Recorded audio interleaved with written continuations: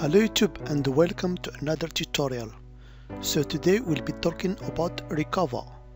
Recuva is actually a program that allows you to recover or restore your deleted files. So are you ready? Let's get started. So first in order to download your program which is Recuva I'm going to open my browser and you just type Recuva in the search box. Okay. So the first link you have is actually the link from which you can download Recuva.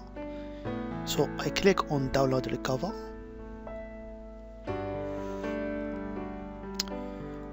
As you can see there is a free version and also a professional version that is paid. So I download only the free version so I click on the link. For example this one. As you can see here you can download the latest version which is 4.22 megabytes. So you just click on the bottom here and the download is getting started okay so once the program is finishing downloading I will start it using the setup program. So as you can see here I choose English as the language for installing so I click next. Then I leave the default uh, checkbox here. Okay. Uh, I don't want uh, CCleaner to be installed so I check uh, no thanks I don't need next and the program is being installed. Okay. So first let me show you something.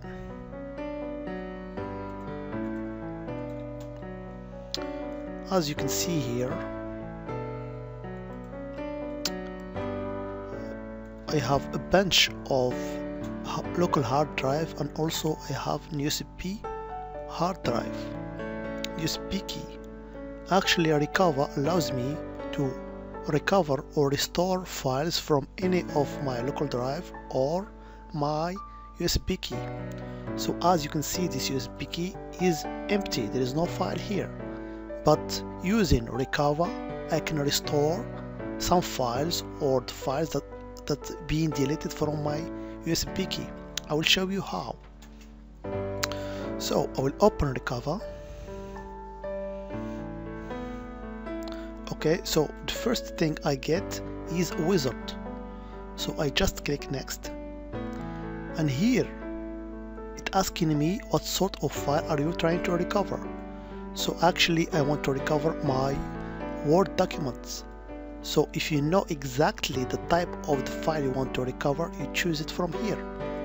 Or if you want to recover all your file you just leave the first options highlighted. So me I want just my Word document to be restored. So I click on document. Then I hit next. And now you specify in which location where the file. Actually as I told you my the file were in uh, my USB key. So I choose specific location. And I browse down to my uh, USB key which is called Aminos okay? I hit it and, and click OK then I hit next. Now I can just hit start or if I want a deep scan I can check this box. But me I will just click start in order to see the result. Okay as you can see now the program actually has given me the list of the files that I have restored. So I have here the choice of the file to be restored.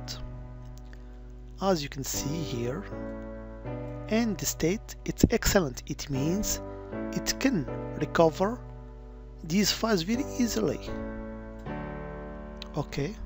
So if you want to recover a file you just check it or right click on the file and choose the option recover highlighted or checked. So me I want just to to restore the checked file. So I will check just two for example this one and this one. Then I hit recover checked. Okay. So now it offer me to select the location of recovery it's always good to restore in different hard drive or different location. So I will just uh, recover this file to my desktop okay? So I will choose my desktop for example as location. Okay desktop. And I will hit OK. And now the file have been recovered as you can see here the two file has been recovered. Another option if you want uh, to prevent others from recovering your files using the same software let's say that you give your USB key to someone and you are afraid if you're using the same program to recover your files you just right click on those files and this time you choose secure overwrite checked. If you choose these options so the person will never recover your file. So it's a very very important measure to take if you want to give your USB key to someone and you are afraid if he can restore some of your secret files or important files so you choose this option in order to prevent him from doing that so it's very easy program that you can use in order to recover or restore your deleted files.